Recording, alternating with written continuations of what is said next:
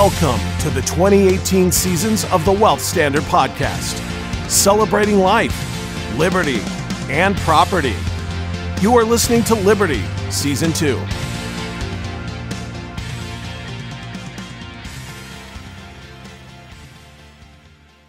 Hey everyone, welcome to the Wealth Standard Podcast, a very special edition of the Wealth Standard. In case you can't tell, I am not Patrick Donohoe.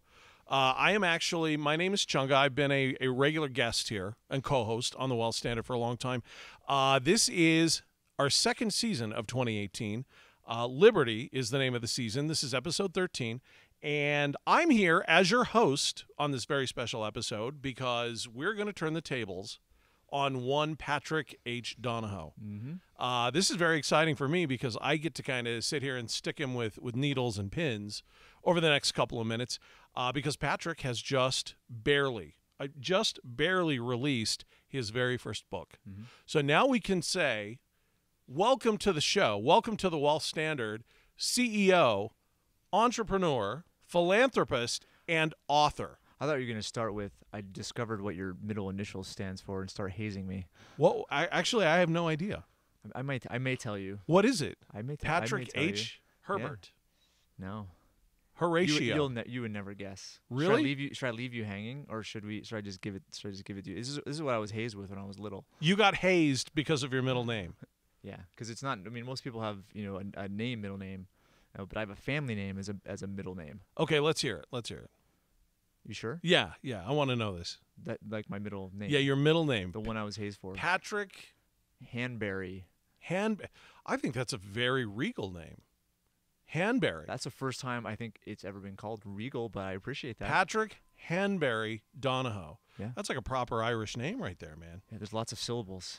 It's, lots of I syllables in that whole pronunciation. Yeah. I think it's great. So I actually named my so my son's middle name is is Hanbury too. So Really, Yeah. I I, so I Jackson- actually Jackson Hanbury. I actually quite like it. Yeah. I, I don't think there's anything silly about Hey, it. I So- I think yeah, it's one of those nerds were picked on, right? Grow, Sure. When we were when we were growing up, sure. and now they're the most brilliant people, and the whole jock scene is like dissipating. You know, so it's one of those like. You know, if you had Michael or John, like you know, you had a normal name. But if you had like Yeah. a weird like Hanbury, like where's what's Hanbury mean? Oh, I think it's great. Yeah, No. I think it's wonderful. Anyway, right. this is a very special. Tangent. You know, we're we're doing for 2018. We're doing three seasons this year. Uh, Life, Liberty, and Property, which Mm-hmm. was first coined by John Locke. Uh, if you don't know what we're talking about, go research it. It's a fascinating story. But you also used those three principles as a bit of a cornerstone for your book. Mhm. So, first of all, your book is called Uh, it's right here. It's on the video. Heads I win, tails you lose. Correct. Yeah. And uh, and there's a whole story behind that as well. But you use John Locke's principles as a cornerstone of the book. But Yeah. I and I've got a whole bunch of questions about that. But Okay. before we get into it here, in uh, in this episode of the Wealth Standard podcast, I want to know uh, why now. When it comes to the, Oh, the book, book? because you, yeah, you've been doing this for you've been doing what you do now for well over a Sure. decade, Yeah, two, 2007. and it seems to me within the financial space Mhm. that one of the first things you do Mhm.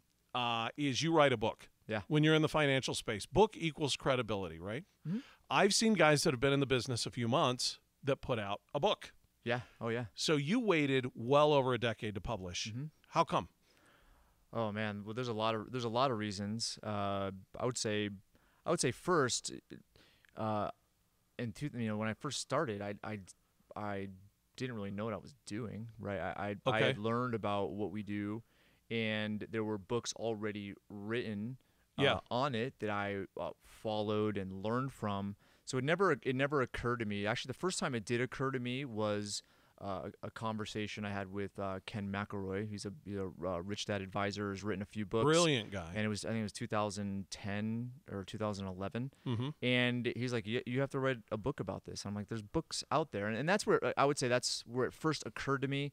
And then I uh, attempted to write one in 2013, I think 2012 or 2013 Mm-hmm. and it, you know it just didn't didn't feel right we had a complete version but it, it didn't feel it didn't feel like it had the content i wanted or told the story that that i felt uh, like I wanted to have my name. I'm on top one of of those few people that has had the privilege of reading that book. Yeah, yeah.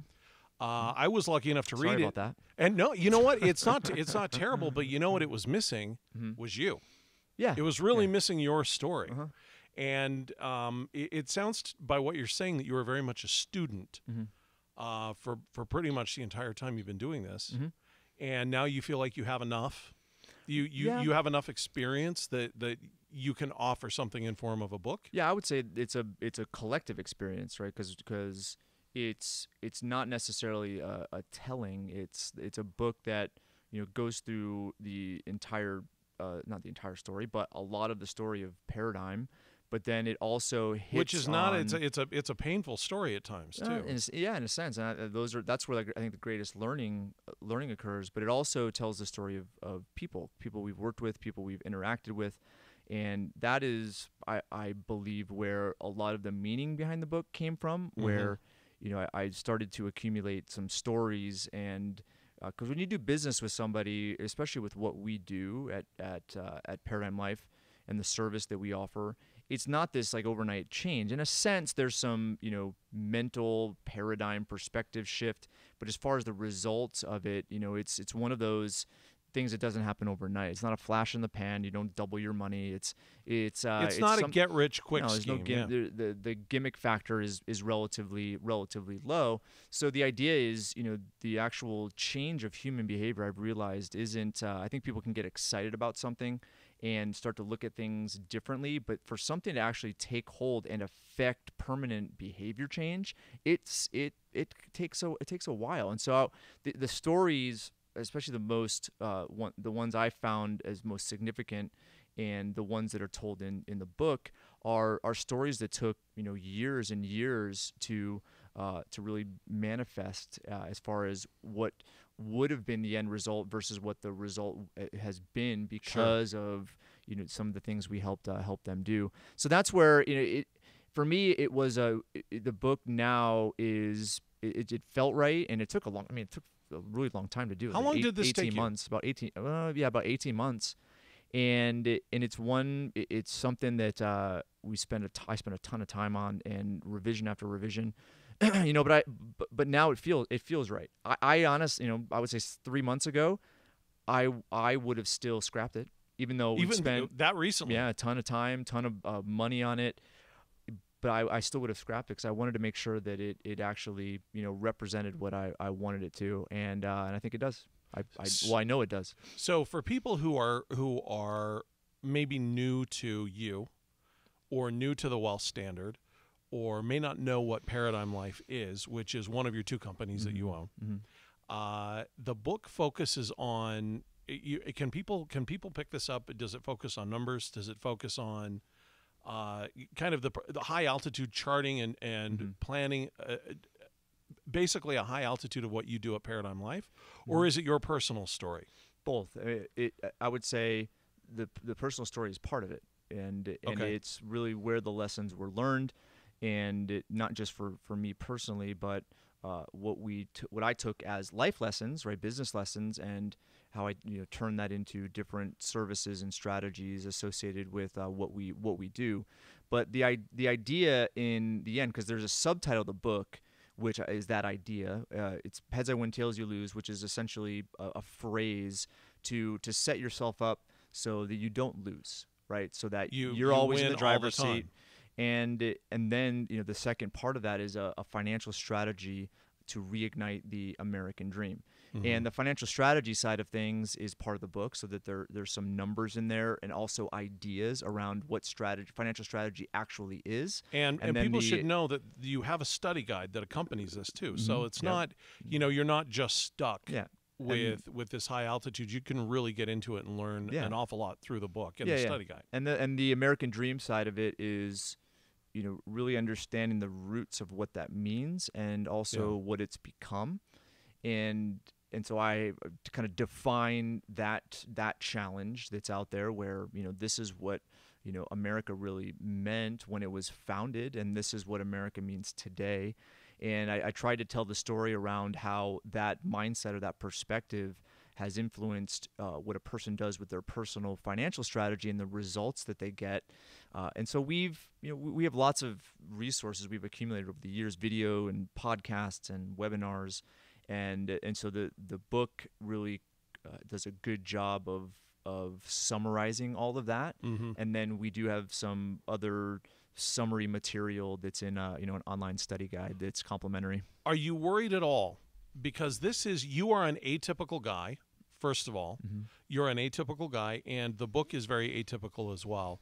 Are you worried at all that that it's going to that you're going to encounter people that may question the credibility of this at all?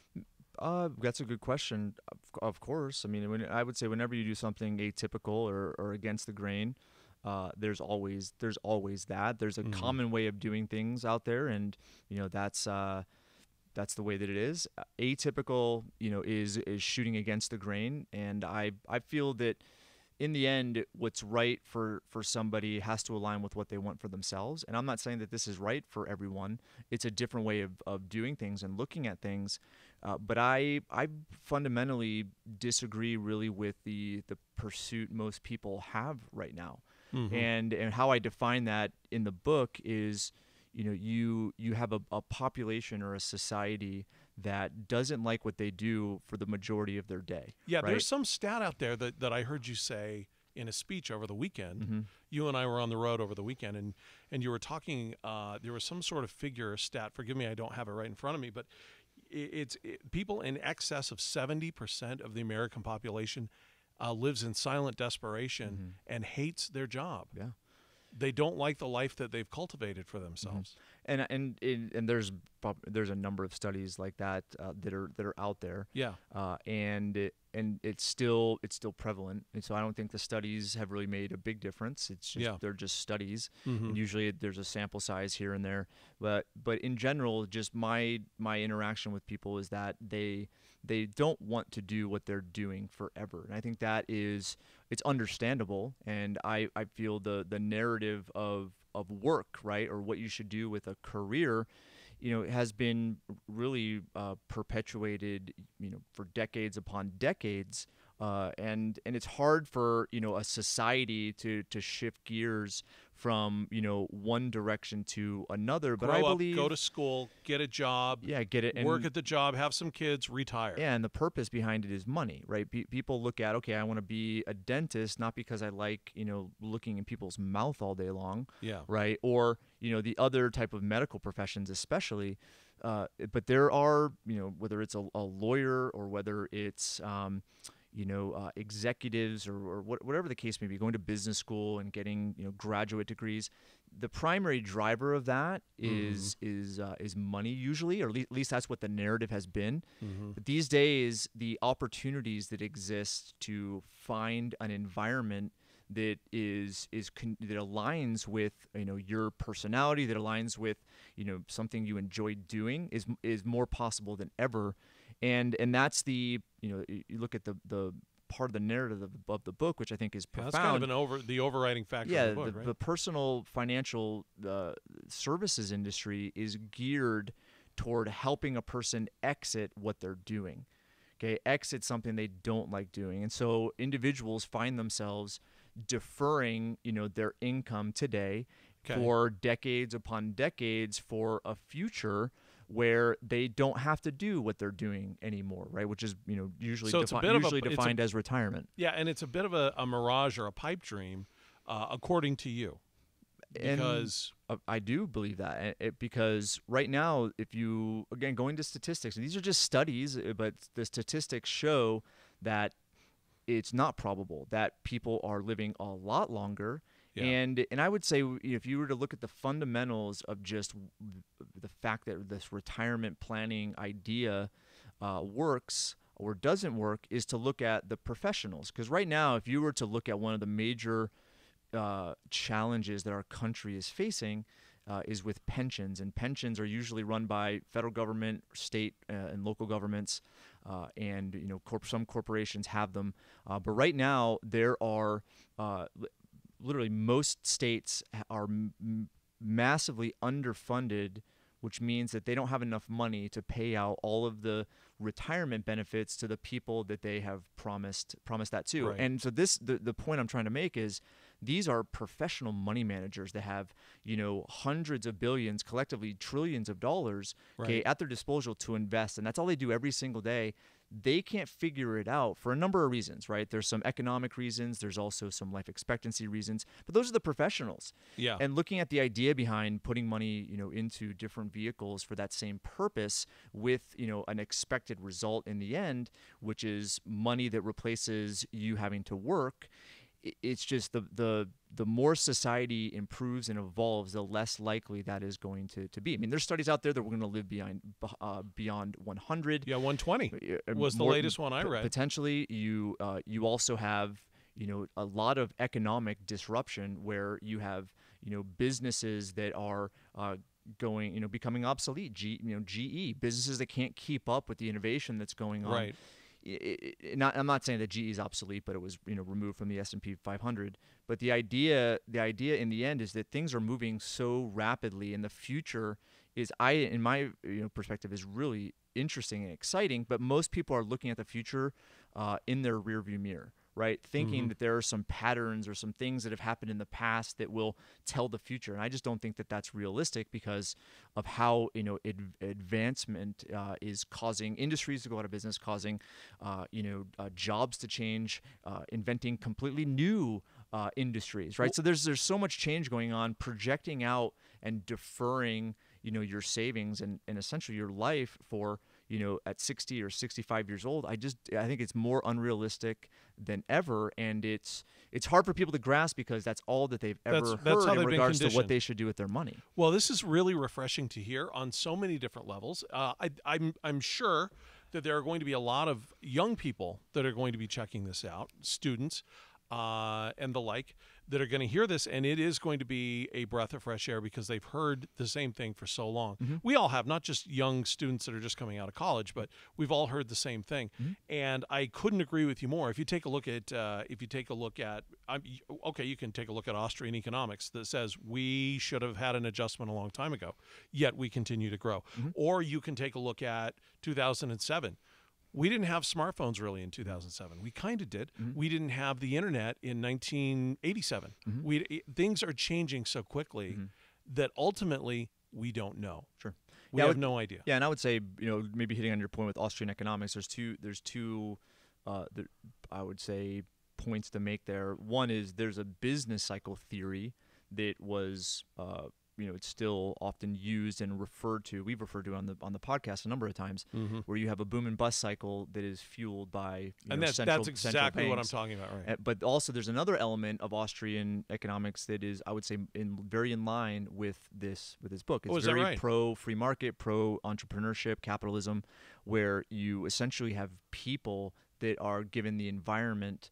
Uh, and the freedom to solve problems, as opposed to problems being solved by Which is a, we want, a right? central, a central, a centralized power, right, or, or a government. And uh, of course, we want that. At the same time, you know, the, the narrative is often in you know Washington D.C. that you know they're the ones responsible for jobs, they're the ones that are responsible for prices, and they're the ones that are responsible for you know making sure Facebook you know hides our information or whatever. you know, it's, but it's one of those. Yeah, it's one of those things where Austrian economics can be defined in a number of ways. There's there's a lot of different economists that have different theories.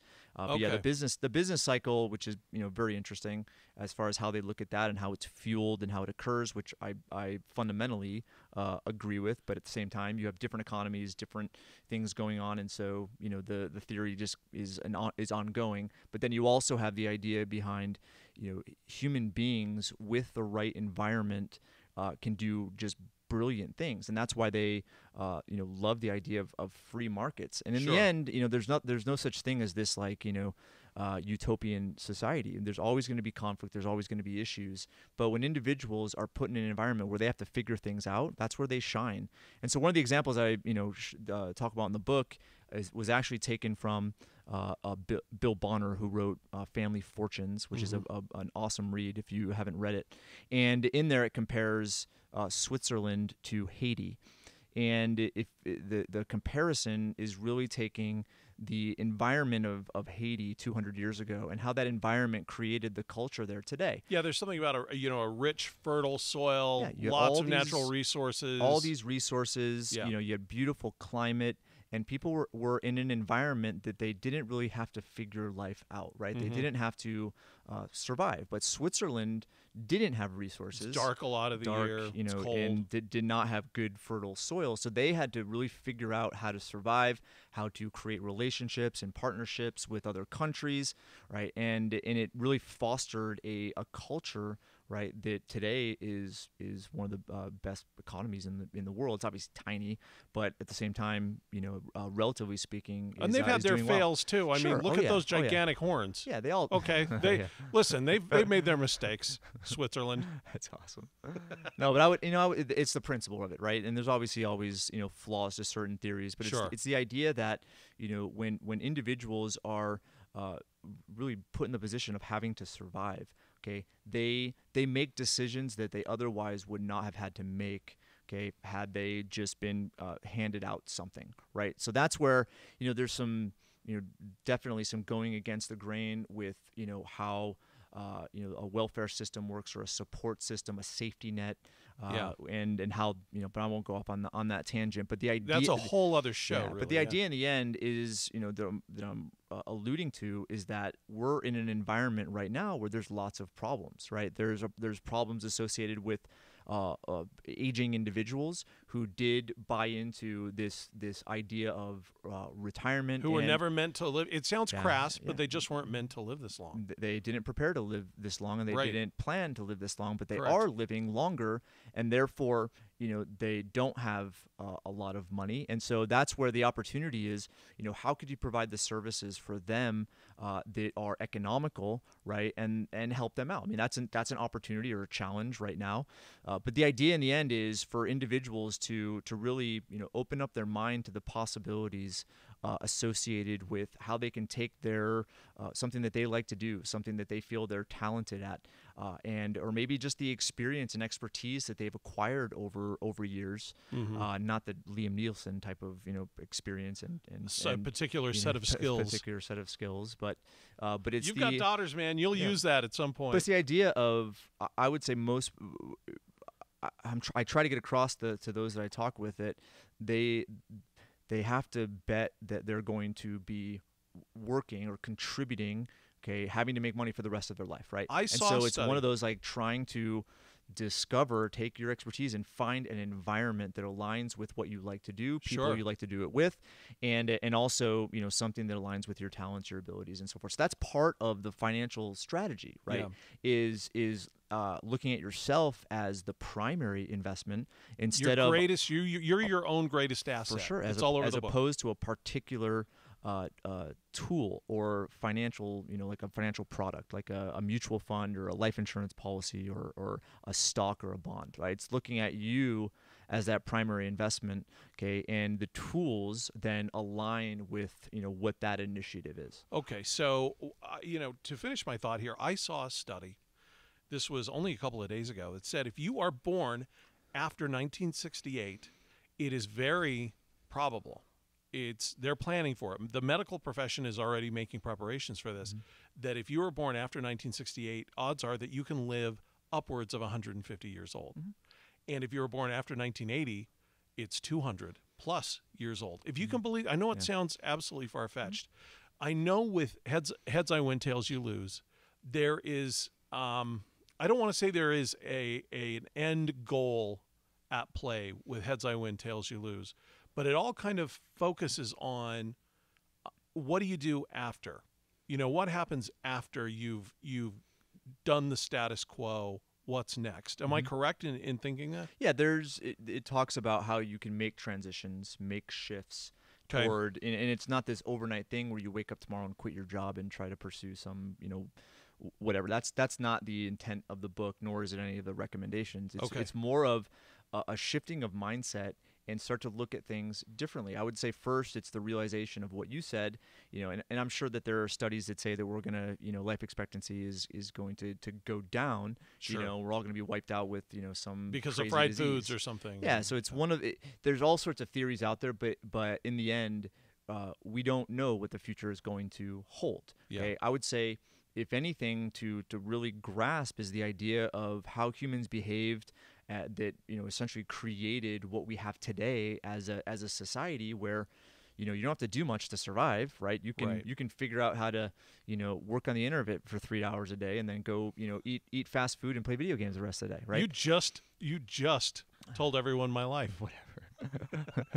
But the you know the you know the the thing that I was saying is that you know this is a it's a it's a trend it's a transition right it's an it's a Mhm. it could be a decade transition it could be five years it could be it could be less it could be more but the idea in you know in the end is that I would say part of the American dream which I believe uh, was the original original American dream is to have the freedom to pursue something that you uh, align with, whether it was property ownership, whether it was uh, a trade, uh, and and it was to limit or mitigate restrictions associated with that. And today, I would say we have lots of restrictions. There's lots of laws and so forth, but the United States is still, you know, one of the the even though we may not rank as high in the Freedom Index, we still live in a very free environment where we're able to pursue certain things, okay, and try to solve uh, problems, whether it's economical problems or whether it's societal problems or Tech Or, uh, technological te- problems. technology problems, which I think technology is, you know, is just one of those those things that applies to every every industry now, Sure. right? As far as making things more efficient uh, and making things more productive and you know doing things uh, economically.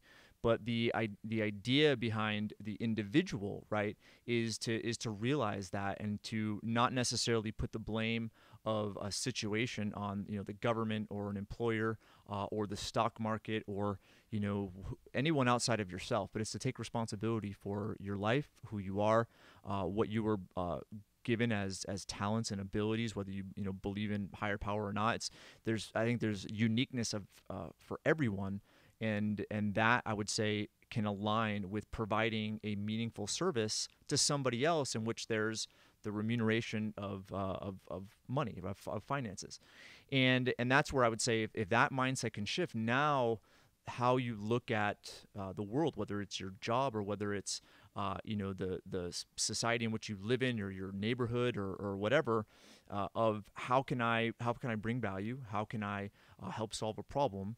And if that becomes the the overriding motivation of behavior, then that us- that ultimately uh, will lead to uh, whether it's a position at a company or a company itself or self-employment or consulting or contract work and I I firmly believe that the future of employment will be very aligned with what people's natural abilities and talents are. So you might as well start start early and, well, and if you take a look, you um, this book is very inspiring. First of all, and and I know that you've got a very friendly crowd here in me. I'm I'm not sitting here busting your hump Mm-hmm. over you know different criticisms or different uh, counterpoints that people would have. Yeah.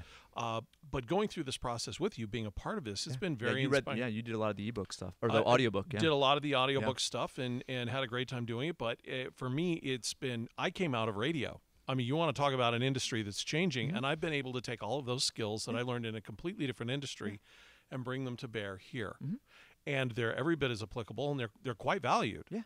Uh, here and and you talk a lot about this in the book of being able to just make that pivot Mm-hmm. and not retire in the sense that you're going to go play bridge or Mm-hmm. play golf all day. I honestly, for me, I can't think of anything worse. That just sounds like hell. But here, for me. but here's the thing: is I know, but for some people, they like to do that, but at the same time, doing that full time is not is not conducive. And and I like to play golf. I like to travel and do stuff with my family.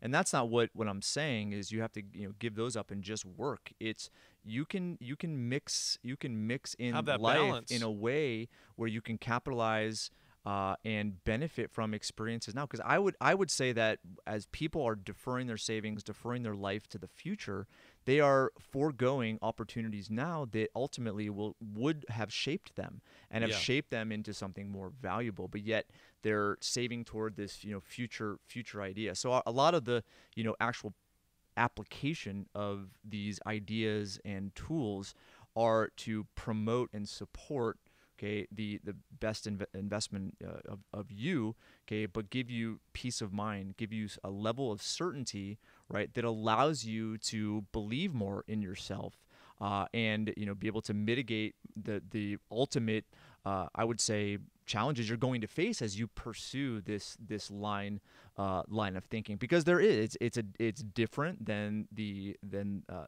the status quo. Uh, it's different from whatever whatever financial most financial advisors tell you what to do. It's, it's ultimately different because it's a different outcome. But this outcome, I would say, al- aligns with a lot of, you know, I would say it's becoming, uh, you know, the narrative of whether it's entrepreneurism or whether it's technology uh, or how fast we're evolving as a as a people, right? It, it supports uh, it supports all of that. Yet the traditional or the typical, I would say, financial plan is supporting this defer life until some distant future, right? When you have enough to not have to contribute anymore. Right? I, I was talking to uh, a great guy, good friend of yours. Uh, the guy is my spirit animal. Uh, this guy's an amazing guy, Garrett Gunderson, Yeah. Who yeah, is, uh, he's been a guest here on the Wealth Yeah. Standard and just a brilliant, brilliant mind.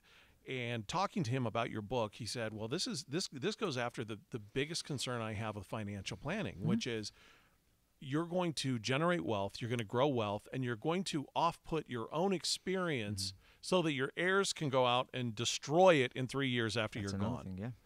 And so, what I took away, my biggest takeaway from Heads I Win, Tails You Lose, Mm-hmm. is that it's about the journey. It's not really about some sort of mirage that's on the horizon. It's not about the future. It's now it's not to be irresponsible about the future. sure. Okay, but it's to essentially create your present, right? And that present is ultimately your future. And so, you know, Garrett, I, Garrett, I've, I've followed Garrett and have tremendous respect. I can consider him, you know, a huge influence uh, in my way of thinking.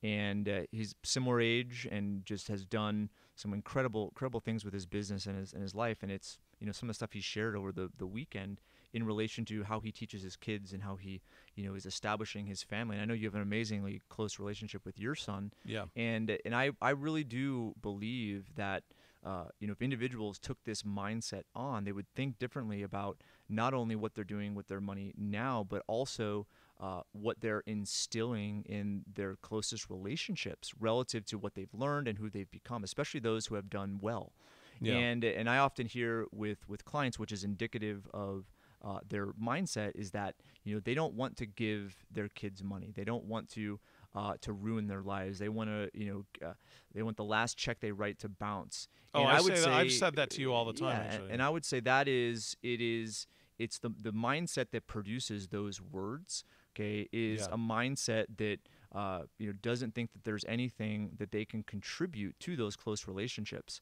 Yeah. uh, because in the end I don't want money to ruin my children. Nobody nobody does. Yeah. and that's why we think the only way to do that is not to give them money.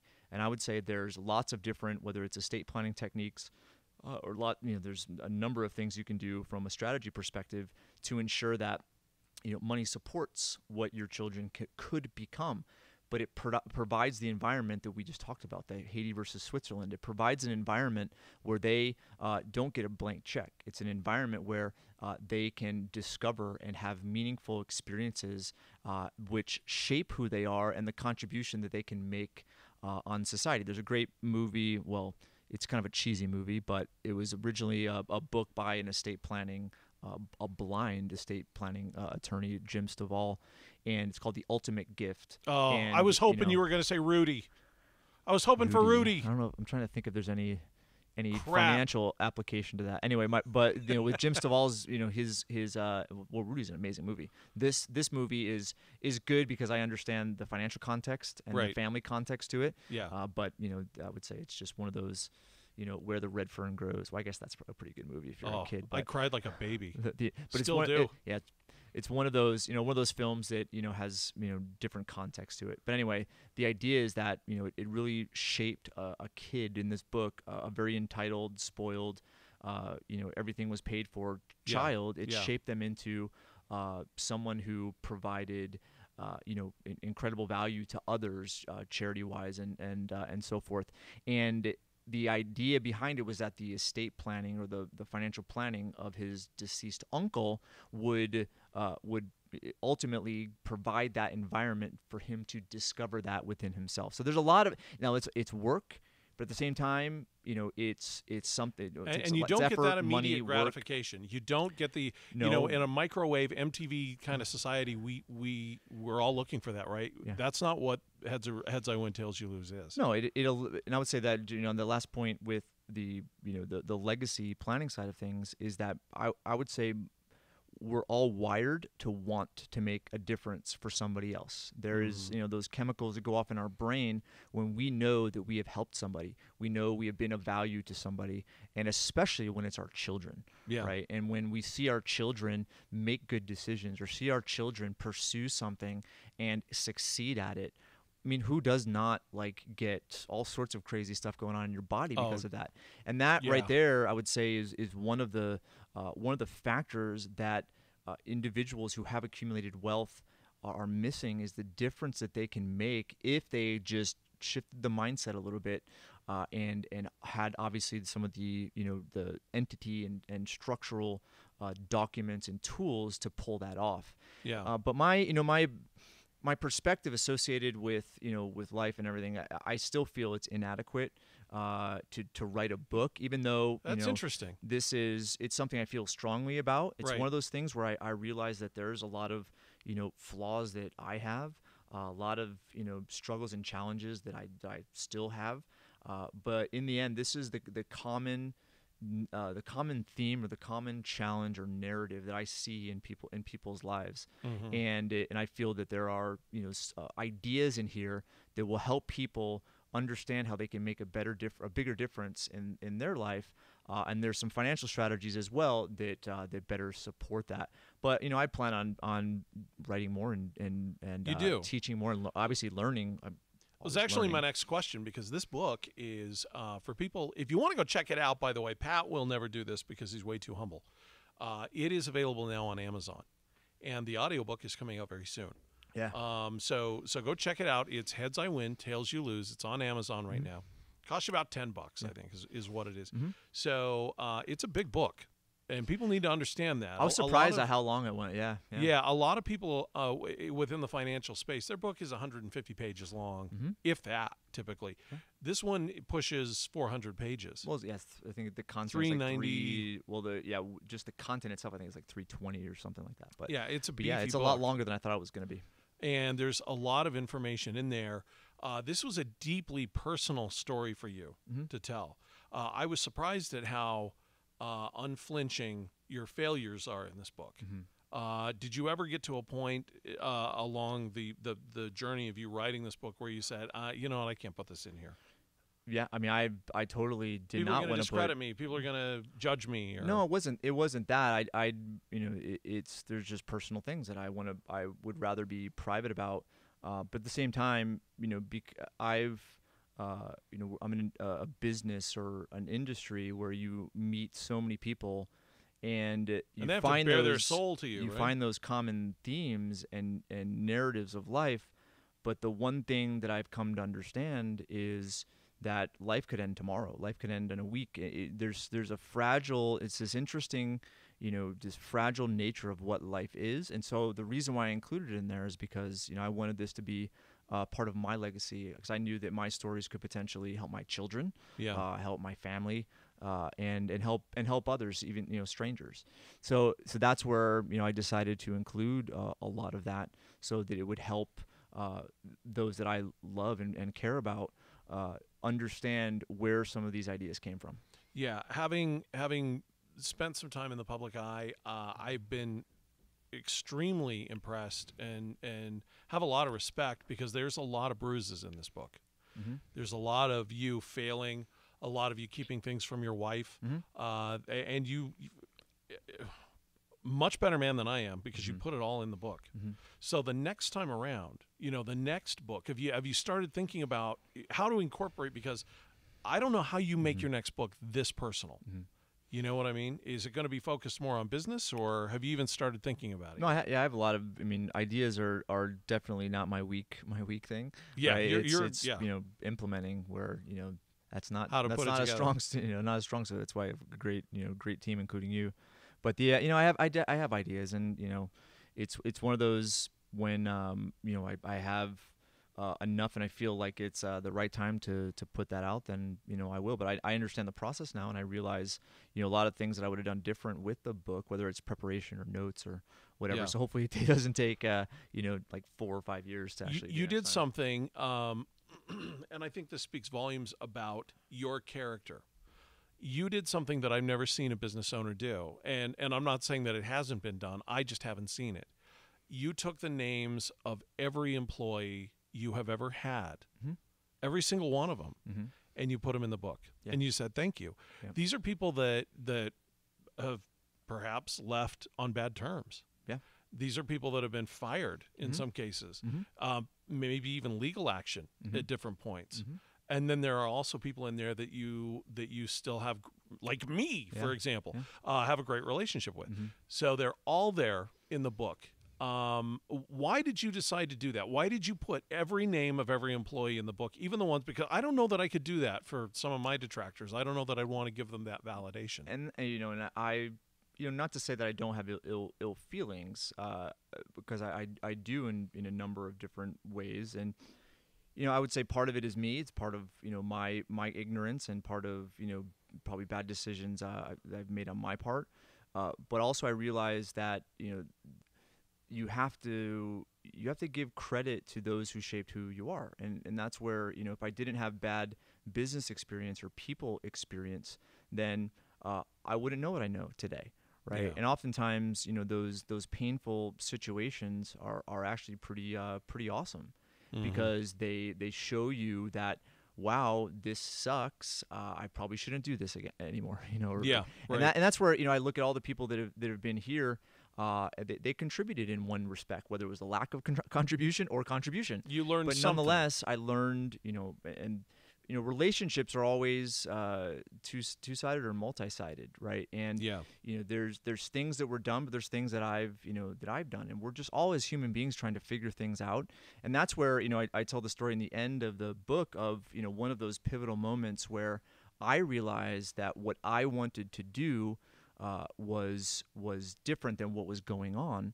uh, at the time in, in business and and that's where we made some you know and you were involved you were there i think you came on like right in the middle of it Uh, but it was I'd, one of I'd those been here. I'd been here about seven months Yeah. when all hell broke loose. yeah, and there were there were you know there were times where I did not want to come into the office, right? Can, I- can I share a story? It's a very personal story. There was at one point you and I had a conversation in your office, Mhm.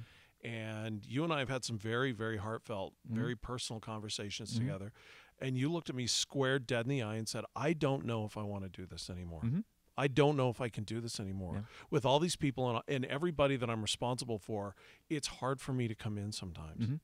And I don't know. I mean, how do you how do you come back from being in a place like that? Mhm. And is that in the book? Uh, I, I no, I don't think I go into a lot of those details there, but I, I would say the you know the the the primary driver was me realizing what I did want to do, and it had nothing to do with the actual activities. It had Mhm. to do with the environment in which I did it. So you had to change your environment so that Yeah. you could you could re-engage Yeah, on a level that your team needed you to. hmm And Yeah. and fortunately, and that's where I look at, you know, just how how profound it is to get a group of people to do to do something. And for those that have never had to orchestrate a group of people, and I'm not talking like you know five people or a, or a, a team, right? A team of ten or a team of 5 You're talking hundreds.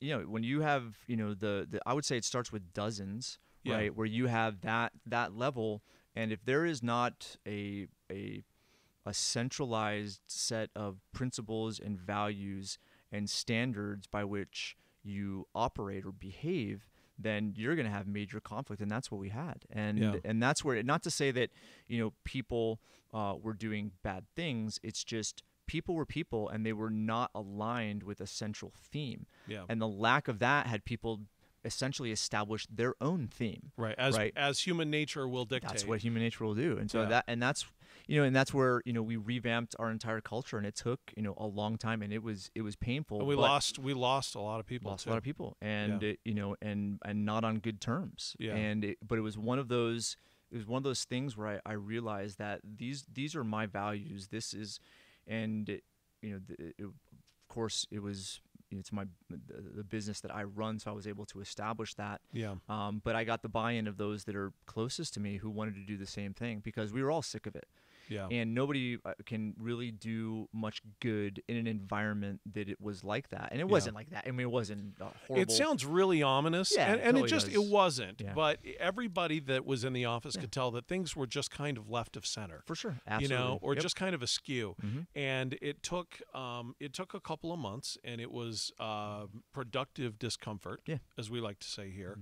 Um, but I think you know, and for people who don't know, I mean, the company is just banging. You're you're doing a wonderful job, and and I think it's very inspiring to see a guy of your caliber Mm-hmm. that can get to that point where just burned out and just questioning. And I think that's pretty common for everybody, especially in a super stressful, high functioning position like you're Yeah, in. I agree. I you mean, th- th- we have we have a lot of work to do, uh, you know. But there's, it, it's it's a different feel, and and I love coming. You know, it's it's one of those. That's my litmus test. Is, you know, do I want to go in Yeah. right to to the office, or am I in my? I know I have to go in, but do I want to? Am I motivated? And I am. Like I I Yeah. love I love the environment that we're in. I love the people that are here. Uh, it's uh, like I said, there's we're still we're still transitioning. We're still we're still growing, but a lot of that you know a lot of that is is told uh, in the book because I believe that this is this isn't just a you know unique experience that uh, that this company uh, or I'm going through. I mean, this I would say that this is what most Americans are going through. Right? They spend Right. the majority of their life right sleeping and at work right Yeah. and it's one of those like if if you are there's not a there's there's never been a time in history where there's not more opportunity to find a position or a job or something to do that's meaningful that you like doing in an environment that is is healthy rewarding motivational uh, and it, it's more it's more possible today than ever I, I believe Oh, And- indeed, and, and yeah. it's it all starts within within you, your greatest asset. Because after all, you know, I, again, I'm another example of this. I came out of an environment where I got to goof off Mhm. every day, all day, and even that was eating chocolate cake at every meal. Even that had its downside, and I think a lot of people they may go into a to a career or a profession without understanding. Hey, look, this is going to suck. Mhm. At times, it's going to suck for you, Mhm. and it's all in the way you handle it. Even in the best possible conditions, you're going to have to deal with You- things. Great point. Excellent. And that, and that's where you know that's the human the human condition, right? We don't have this. Uh, you know, we, we wake up with the same attitude and perspective and energy level every day. I mean, we can do what it takes to to be as consistent as possible, Yep. right? But you do have to manage, you know, different circumstances, and we're and we're humans. But at the same time, you know, if you if you create a centralized theme by which you make you make those decisions, Mm-hmm. now you don't rely necessarily on what you think you should do. You rely on what you know the culture and values tell you to do, And right? and, that and you that's have what pre, you you have what pre-subscribed to. and that's what the book gives you. Yeah, absolutely. Uh, you know the the beginning steps to take. Correct. Mhm. Um, is there anything else? Is there anything about the book? And this is a total curveball, so forgive me. But is Yeah. there anything about the book now that it's out and released and is a bestseller? Mhm. Might add, we we haven't even talked about that yet. Yeah. This is actually a bestseller on Amazon, and congratulations. I think it was it was a yeah it was it was awesome. It was great great launch. Is there anything about the process of the book or the book itself that you would change? So when people get to that point in the book, they're going to go, "Oh, this is what Patrick was talking about." Uh, I think I think the sequence is uh is is pretty good. I would say there are some chapters that get into strategy, and and I would say that you know the study guide has some supplemental information. The study guide is Yeah, online. fall back on the study guide. Yeah, it's yeah. online. You can access it for, for free even if you haven't bought the book. But the idea is that that will, you know, not just be kind of this like, you know, static once w- one time thing. It's it's going to evolve with additional information as we get feedback of people that are reading the book. You but, can change the study guide yeah. as you go. But I was surprised how quickly people read that book. Uh, read the book. I mean, there's a number of people that got through it in two or three sittings, which was interesting. which kind of freaked me out as a guy Yeah. who's I you know I've read this thing I don't know how many times I've listened to it. yeah I listened to the audiobook I don't know how many times No, you kind of sound like me now. uh, I had a dream can I Just just can I tell everybody this story I had a dream last Sunday night while editing going through the post production process on the audiobook Mhm.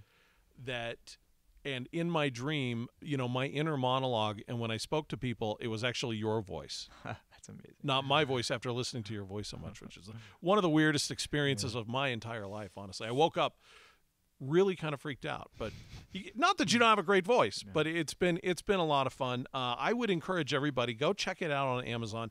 Heads I win, tails you lose.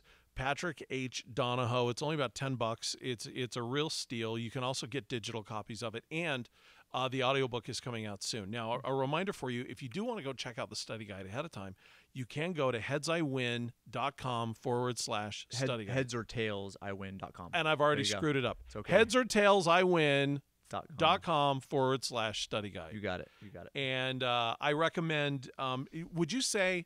I think this is a book for everybody. Do you think young people, if you're in college, um, Yeah, or yeah. is this is this going to be a book for them, Any- or do you recommend that they? anyone that's thinking about you know their their job, their money, their uh, their and their future. Yeah. Because we we've spent a lot of time talking about retirement and that end game. Mhm. It's that's not really what the book is about, is it? No. Yep. It's an infinite game. There's no end. Well, there is, but and No and go back and listen to some some different uh, podcasts that we've done here on the Wealth Standard about the finite game and the infinite game, and that that will definitely help you as well. Patrick, it's been an honor to be the host.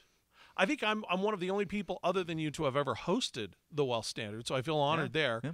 Uh, congratulations! Thank you very much. Congratulations on creating a best-selling book, and I think everyone faces and names of people you will never actually get to meet are going to be influenced by this, and so I so. congratulate you. well, thank you. I appreciate it. Uh, that's it for this episode of the Wealth Standard. Thanks for listening, everybody. Patrick will be back next week uh, as the host with another fine guest. Uh, and we do recommend that you uh, leave us a review on iTunes, if you would please. That helps us tremendously. And if you like the book, if you like Heads I Win, Tails You Lose, uh, once you grab it on Amazon, boy, we'd sure love a review there. Please go get. If you don't like it, I'll give you your money back. Just send the book don't, back. I'll no, give he you won't. money. Don't listen to him. No, he won't.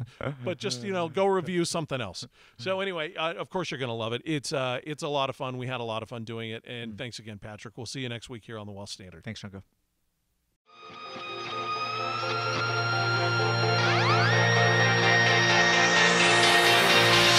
Thank you for joining us as the Wealth Standard Podcast spends all of 2018 celebrating life, liberty, and property. Be sure to leave us a review on iTunes, and we'll see you on the next one.